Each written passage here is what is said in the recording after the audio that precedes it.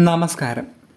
കേരളത്തിൽ നിന്നും പടിഞ്ഞാറ് മാറി ഇരുന്നൂറ് മുതൽ നാനൂറ് കിലോമീറ്റർ വ്യത്യാസത്തിൽ അറബിക്കടലിൽ ചിതറിക്കിടക്കുന്ന ദ്വീപുകളുടെ കൂട്ടമാണ് ലക്ഷദ്വീപ്. മുപ്പത്തിരണ്ട് ചതുരശ്ര കിലോമീറ്റർ മാത്രം വിസ്തൃതിയിലുള്ള ഈ പ്രദേശം ഇന്ത്യയിലെ ഏറ്റവും ചെറിയ കേന്ദ്രഭരണ പ്രദേശമാണ്. ജനവാസമുള്ളതും അല്ലാത്തതുമായ മുപ്പത്താറ് ദ്വീപ സമൂഹത്തിൽ പതിനൊന്ന് ദ്വീപിൽ മാത്രമേ ആൾതാമസമുള്ളൂ ലക്ഷദ്വീപ് മിനിക്കോയ് ആൻഡ് അമിനി ദ്വീപ് ഐലൻഡ് എന്നറിയപ്പെട്ടിരുന്ന ഈ ദ്വീപുകൾ ആയിരത്തി തൊള്ളായിരത്തി എഴുപത്തി മൂന്ന് നവംബർ ഒന്നിന് ലക്ഷദ്വീപെന്ന് അറിയപ്പെട്ടു. ലക്ഷദ്വീപിലെ ഏറ്റവും വലിയ ദ്വീപ് ആന്ധ്രോത്തും ചെറുത് പിത്രയുമാണ്. ആന്ധ്രോത്ത് ഒഴികെ മറ്റെല്ലാ ദ്വീപുകളും തെക്ക് വടക്കായിട്ടാണ് നിലകൊള്ളുന്നത്. അറബിക്കടലിനടിത്തട്ടിൽ തെക്ക് വടക്കായിട്ട് ഉയർന്നു നിൽക്കുന്ന ആരവല്ലി പർവത ശിഖരങ്ങളിലാണ് ഈ ദ്വീപുകൾ രൂപം കൊണ്ടിട്ടുള്ളതെന്ന് ഭൂഗർഭ ശാസ്ത്രജ്ഞന്മാർ അഭിപ്രായപ്പെട്ടിട്ടുണ്ട്. ലക്ഷദ്വീപിന്റെ പടിഞ്ഞാറ് ഭാഗത്ത് കടലിന്റെ ആഴം നാലായിരം മീറ്ററും കേരളത്തെ അഭിമുഖീകരിക്കുന്ന കിഴക്ക് ഭാഗത്ത് രണ്ടായിരം മുതൽ രണ്ടായിരത്തി എഴുന്നൂറ് മീറ്റർ വരെയും ആഴമുണ്ട്.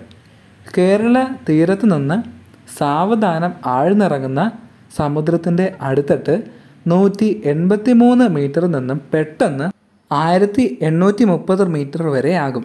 ആയിരത്തി എഴുന്നൂറ് മീറ്ററുകൾ വരെ ആഴമുള്ള പ്രദേശത്ത് നിന്നാണ് എല്ലാ ദ്വീപുകളും ഉയർന്നു വന്നിരിക്കുന്നത്. ലക്ഷദ്വീപിലെ ചരിത്രത്തെക്കുറിച്ച് നമുക്ക് നോക്കാം. ഇന്ത്യൻ ഉപഭൂഖണ്ഡത്തിൽ നിന്നും പടിഞ്ഞാറ് മാറി ചിതറിക്കിടക്കുന്ന കുറേ ചെറിയ തുരുത്തുകൾക്ക് ഇന്ത്യൻ ഹിസ്റ്ററിയിൽ എന്തെങ്കിലും പ്രാധാന്യമുണ്ടോ എന്ന് അന്വേഷിച്ചു പോകുമ്പോൾ കടലിലൂടെ ജലവാഹനങ്ങൾ സഞ്ചരിക്കാൻ തുടങ്ങിയ അതിപുരാതന കാലം മുതൽക്കേ ഉള്ള ചരിത്രത്തിലേക്ക് നമുക്ക് നോക്കേണ്ടി വരും. ഇന്ത്യയിലെ മറ്റു പ്രദേശങ്ങളെ അപേക്ഷിച്ച് ലക്ഷദ്വീപിനെ കുറിച്ചുള്ള ചരിത്ര കൃതികൾ കുറവാണ്. അതുകൊണ്ട് തന്നെ ഒരുപാട് മിത്തുകൾ നിറഞ്ഞ ഒരു ചരിത്രമായിരിക്കും ലക്ഷദ്വീപ് ചരിത്രത്തെക്കുറിച്ച് അന്വേഷിക്കുന്നവർക്ക് കേൾക്കാൻ ഇടവരുന്നത്. അറബിക്കടലിലെ മർമ്മപ്രധാനമായ സ്ഥലത്താണ് ലക്ഷദ്വീപുകളുടെ സ്ഥാനം എന്നതുകൊണ്ട് അറബികളും മറ്റ് മലബാർ ലക്ഷ്യമാക്കിയുള്ള യാത്രകളിൽ ലക്ഷദ്വീപിനെ ഇടത്താവളമായി ഉപയോഗിച്ചിരുന്നു എന്നതിന് പല തെളിവുകളും ലഭിച്ചിട്ടുണ്ട്. ആയിരത്തി തൊള്ളായിരത്തി നാൽപ്പത്തി എട്ട് കടമത്ത് ആന്ധ്രോത്ത് എന്നീ ദ്വീപുകളിൽ നിന്നും ലഭിച്ച എ ഡി ഒന്നും രണ്ടും നൂറ്റാണ്ടുകളിലെ നാണയങ്ങൾ അതിന് ഉദാഹരണമാണ്. ആദ്യമായി ദ്വീപുകളെക്കുറിച്ച് ചരിത്രകൃതികളിൽ പ്രതിപാദിച്ചത് നാവികരുടെ അനുഭവങ്ങളും ലാൻഡ്മാർക്കുകളും വിവരിക്കുന്ന പെരിപ്ലസ് എന്ന കൃതിയിൽ പേര് വെളിപ്പെടുത്താത്ത ഗ്രന്ഥകാരനാണ്. എ ഡി തൊണ്ണൂറുകളിലാണ് അത് രചിച്ചിരിക്കുന്നത്. ദ്വീപുകളിൽ സുലഭമായി ലഭിച്ചിരുന്ന ആമത്തോടുകളെക്കുറിച്ചാണ് ഇത്. അതുപോലെ തന്നെ എ ഡി നൂറ്റി അൻപതിൽ ടോളമി എന്ന സഞ്ചാരി സിലോണിന് ചുറ്റും ആയിരത്തി മുന്നൂറ്റി എഴുപത്തെട്ടോളം ദ്വീപുകൾ ഉണ്ടെന്ന വിവരണത്തിൽ ലക്ഷദ്വീപുകളും ഉൾപ്പെടുന്നു എന്ന് അഭിപ്രായമുണ്ട്. അതുപോലെ ചരിത്രകാരന്മാരും സഞ്ചാരികളുമായ Ammianus Fahien Cosmas Ibn Battuta തുടങ്ങിയവർ ദ്വീപുകളെക്കുറിച്ചുള്ള പരാമർശം നടത്തിയിട്ടുണ്ട്. അറബി സഞ്ചാരികൾ ഈ ദ്വീപിനെ ദിവീസ് എന്നും ദിബജ ആ എന്നും വിളിച്ചിരുന്നു. ഡച്ച് റെക്കോർഡുകളിൽ ഈ ദ്വീപുകളെ ലക്കർ ദിവ എന്നും വിളിച്ചു കാണുന്നു.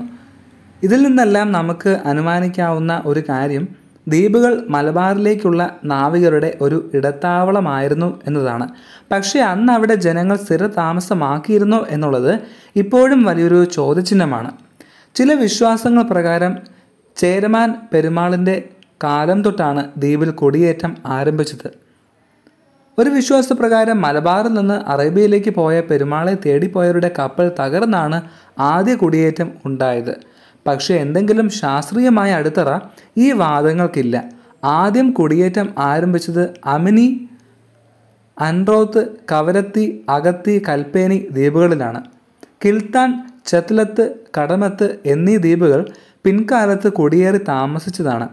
ആയിരത്തി എഴുന്നൂറ്റി തൊണ്ണൂറ്റി അഞ്ചിൽ ദ്വീപ് സന്ദർശിച്ച ബെൻഡലിയുടെ വിവരണപ്രകാരം കിൽത്താൻ ചെത്തലത്ത് ദ്വീപുകളിൽ നൂറുപേരും കടമത്ത് ആൾതാമസം ആരംഭിച്ചിട്ടും ഇല്ലായിരുന്നു. ആയിരത്തി എണ്ണൂറ്റി നാൽപ്പത്തി മൂന്ന് ദ്വീപ് സന്ദർശിച്ച സർ എച്ച് ഡബ്ല്യു റോബിൻസണിന്റെ വിവരണത്തിൽ കടമത്ത് ദ്വീപിൽ ജനവാസം തുടങ്ങിയതായും തെങ്ങുകൾ വെച്ചുപിടിപ്പിക്കാൻ തുടങ്ങിയതായും പറയുന്നുണ്ട്. ദ്വീപിലേക്ക് ഇസ്ലാം മതം കടന്നു വന്നത് എങ്ങനെ എന്നുള്ളതിന് ദ്വീപിലെ വിശ്വാസപ്രകാരം അറേബ്യൻ ഇസ്ലാം മത പ്രബോധകനായ ഉബൈദുള്ള എന്നു പേരുള്ള ഒരാൾ വഴിയാണ്. അതിനു മുമ്പ് ഇവിടെ ഉണ്ടായിരുന്നത് കേരളത്തിൽ നിന്നും കുടിയേറിയ ഹിന്ദുക്കളായിരുന്നു. ദ്വീപുകൾ ഇന്നും നിലനിൽക്കുന്ന ചില ആചാരങ്ങളിലും ഭവന നിർമ്മാണ രീതിയിലുമൊക്കെ അത് നമുക്ക് കാണാൻ സാധിക്കും. കാര്യങ്ങൾ ഇങ്ങനെയൊക്കെ ആണെങ്കിലും പതിനഞ്ചാം നൂറ്റാണ്ട് അവസാനം പോർച്ചുഗീസുകാർ ആഫ്രിക്കൻ ഭൂഖണ്ഡത്തിലെ തെക്കേ മുനമ്പായ കേപ്പ് ഓഫ് ഗുഡ് ഹോപ്പ് കടന്ന് മലബാർ തീരത്തേക്ക് വരുന്നതോടുകൂടി ഇന്ത്യക്കും അതേപോലെ ലക്ഷദ്വീപിനും പുതിയൊരു ചരിത്രം പിറക്കുകയായി. അതിനു മുമ്പ് വരെയുള്ള ഒരു അവ്യക്തമായ ചരിത്രത്തിൽ നിന്നും കുറച്ചുകൂടി വ്യക്തതയുള്ള ഒരു ചരിത്രം അവിടെ നിന്നാണ് തുടങ്ങുന്നത് എന്ന് വേണമെങ്കിൽ പറയാം. പോർച്ചുഗീസുകാരുടെ ആഗമന കാലത്ത് ദ്വീപുകൾ കോലത്തിരി രാജാക്കന്മാരുടെ അധീനതയിലായിരുന്നു. മമ്മാലികൾ എന്ന പേരിൽ അറിയപ്പെട്ടിരുന്ന രാജ പ്രതിനിധികളുടെ മേൽനോട്ടത്തിലായിരുന്നു ഭരണകാര്യങ്ങൾ നിയന്ത്രിച്ചിരുന്നത്. മലബാറിൽ ആധിപത്യം സ്ഥാപിച്ച പോർച്ചുഗീസുകാർക്ക് ദ്വീപുകളുടെ നിയന്ത്രണം കരസ്ഥമാക്കിയാൽ കേരളത്തിലേക്കും തിരിച്ചുമുള്ള യാത്രകളിൽ വളരെയധികം ഗുണം ചെയ്യുമെന്ന് മനസ്സിലായി. മാത്രമല്ല കയർ കടൽ ഉൽപ്പന്നങ്ങൾ തുടങ്ങിയവയിലും അവർക്ക് നോട്ടമുണ്ടായിരുന്നു. അങ്ങനെ ഇന്ത്യയിൽ വൈസ്രോയായി എത്തിയ അൽഫോൺസ അൽബുക്കർക്ക് ചില നിർദ്ദേശങ്ങളോടെ പട്ടാളക്കാരെ വിവിധ ദ്വീപുകളിലേക്ക് അയച്ചു. ആദ്യമായി ആമേനി ദ്വീപിലെത്തിയ പറങ്കികൾ അവിടെ ഒരു കോട്ട സ്ഥാപിക്കുകയും നാട്ടുകാരെ വളരെയധികം ബുദ്ധിമുട്ടിക്കുകയും ചെയ്തു. ഇതിൽ പൊറുതിമുട്ടിയ ദ്വീപുകാർ ചിറക്കൽ രാജാവിന്റെ സഹായത്തിനായിട്ട് അഭ്യർത്ഥിച്ചു. ചിറക്കൽ രാജാവ് കാതൽ തഞ്ചകൻ എന്ന വിളിപ്പേരുള്ള ഒരാളെ ദ്വീപിലേക്ക് അയച്ചു. അദ്ദേഹം സൂത്രത്തിൽ പറഞ്ഞുകളുമായി സൗഹൃദം സ്ഥാപിക്കുകയും അവരുടെ വിശ്വാസം പിടിച്ചു പറ്റുകയും അവരെ ഒരു സദ്യയ്ക്ക് വിളിച്ചു വരുത്തി വിഷം കൊടുത്ത് കൊല്ലുകയും ചെയ്തു. അത് നടന്ന സ്ഥലം ഇന്നും അമനി ദ്വീപിൽ പാപം പള്ളി എന്നറിയപ്പെടുന്നു.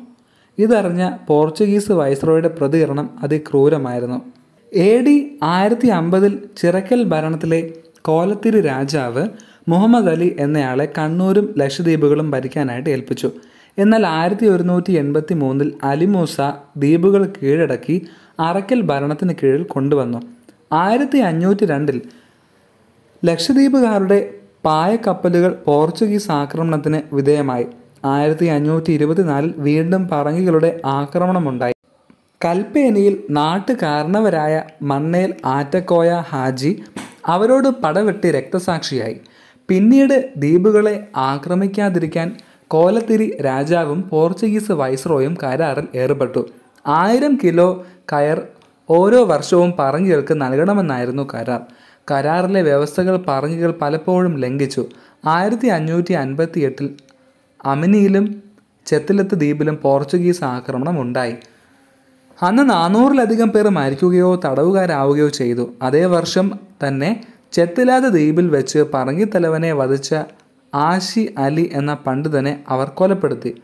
ആയിരത്തി അഞ്ഞൂറ്റി അറുപത്തി എട്ടിൽ കണ്ണൂരിലും മംഗലാപുരത്തും കോട്ട കെട്ടിയ പോർച്ചുഗീസുകാർക്ക് കുഞ്ഞാലി മരക്കാരിൽ നിന്നും ശക്തമായ പ്രഹരമേറ്റു. ഈ സമയത്ത് കോലത്തിരിയുടെ കൽപ്പന പ്രകാരം കണ്ണൂരിൽ നിന്ന് ആറ് പായക്കപ്പലിൽ ലക്ഷദ്വീപിലെ പറങ്കികളെ നേരിടാൻ കുട്ടി പോക്കറുടെ നേതൃത്വത്തിൽ പുറപ്പെട്ടു. ഇതോടെ പോർച്ചുഗീസുകാർ ഇവിടെ നിന്ന് രക്ഷപ്പെട്ടു. ആയിരത്തി എഴുന്നൂറ്റി എൺപത്തി ഏഴിൽ ദ്വീപുകൾ അറയ്ക്കൽ ഭരണത്തിൽ നിന്നും മാറ്റി ടിപ്പു സുൽത്താന് കൈമാറാനുള്ള കരാർ അറയ്ക്കൽ ബീവിയും ടിപ്പു സുൽത്താനും ഒപ്പുവെച്ചു. എന്നാൽ ആയിരത്തി എഴുന്നൂറ്റി തൊണ്ണൂറ്റി ഒൻപതിൽ ടിപ്പു സുൽത്താന്റെ മരണത്തോടെ ദ്വീപുകൾ ബ്രിട്ടീഷ് ആധിപത്യത്തിലായി. പിന്നീട് അറക്കൽ രാജാവിനെയും ആമീന്മാരെയുമെല്ലാം ബ്രിട്ടീഷുകാർ ഭരണ ചുമതല ഏൽപ്പിച്ചു. എന്നാൽ മിനിക്കോയിക്കാർ അപ്പോഴും അധിനിവേശ പടയോട് ചേർത്ത് നിന്നു. ആയിരത്തി എണ്ണൂറ്റി അൻപത്തി എട്ടിൽ മാത്രമാണ് മിനിക്കോയെ കീഴടക്കാനായത്. ആയിരത്തി എണ്ണൂറ്റി എഴുപത്തി അഞ്ചിൽ മലബാർ കളക്ടർ ദ്വീപുകളിൽ എക്സിക്യൂട്ടീവ് ഭരണം തുടങ്ങി. ആയിരത്തി തൊള്ളായിരത്തി അഞ്ച് ജൂലൈ ഒന്ന് മുതൽ ദ്വീപുകൾ ബ്രിട്ടീഷ് സാമ്രാജ്യത്തിന്റെ ഭാഗമാക്കി പ്രഖ്യാപിച്ചു. ആയിരത്തി തൊള്ളായിരത്തി പന്ത്രണ്ടിൽ ദ്വീപ് റെഗുലേഷൻ ആക്ട് നിലവിൽ വരികയും ദ്വീപുകാർ മദ്രാസ് സംസ്ഥാനത്തിന്റെ ഭാഗമാകുകയും ചെയ്തു. ആയിരത്തി തൊള്ളായിരത്തി നാൽപ്പത്തി ഏഴിൽ ഇന്ത്യ സ്വതന്ത്രമായതോടെ ലക്ഷദ്വീപ് മദ്രാസ് സംസ്ഥാനത്തിന്റെ കീഴിൽ തുടർന്നു. ആയിരത്തി തൊള്ളായിരത്തി അൻപതിൽ ആന്ധ്രോത്തുകാരനായ എസ് വി സെയ്ദ് കോയ തങ്ങളെ മദ്രാസ് ലെജിസ്ലേറ്റീവ് കൗൺസിലിലേക്ക് നോമിനേറ്റ് ചെയ്തു. ആയിരത്തി തൊള്ളായിരത്തി അൻപത്തി ആറിലാണ് ദ്വീപ സമൂഹം കേന്ദ്ര ഭരണ പ്രദേശമായി മാറിയത്.